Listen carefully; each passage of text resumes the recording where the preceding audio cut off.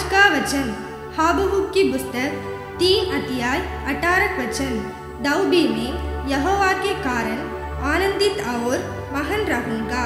और अपने उद्धारकर्ता परमेश्वर के द्वारा अति प्रसन्न रहूँगा